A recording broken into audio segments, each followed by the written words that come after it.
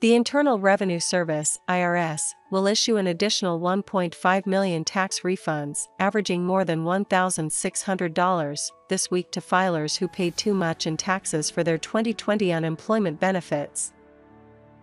The refunds by direct deposit will start on July 28, and those by paper check will begin July 30th.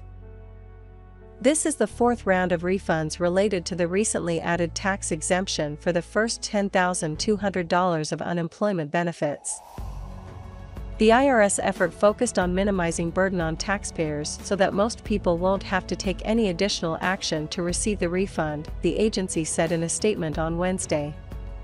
The IRS review means most taxpayers affected by this change will not have to file an amended return because IRS employees have reviewed and adjusted their tax returns for them. Under the $1.9 trillion American Rescue Plan, the first $10,200 in unemployment benefits aren't taxed for eligible filers.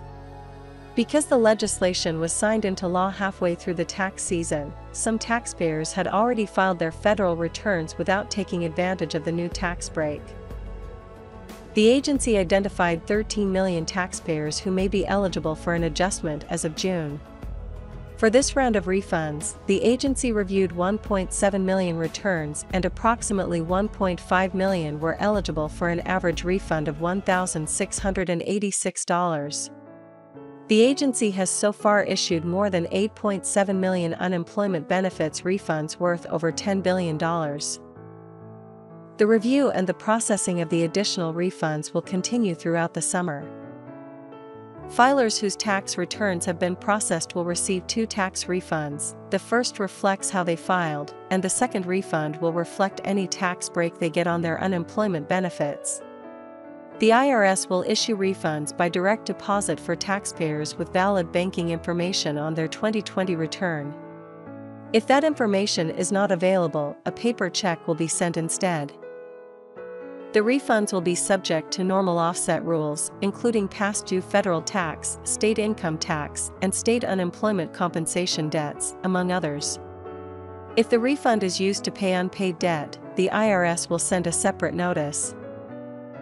Both regular unemployment benefits and the jobless benefits provided by the stimulus legislation are subject to income tax. But the newly added tax exemption is for the first $10,200 of unemployment benefits, any benefits above that threshold are taxable. The break applies to the 2020 tax year and for households making up to $150,000. Taxpayers who become eligible for the Earned Income Tax Credit EITC, after the unemployment benefits exclusion is calculated may have to file an amended return to claim new benefits, the IRS said.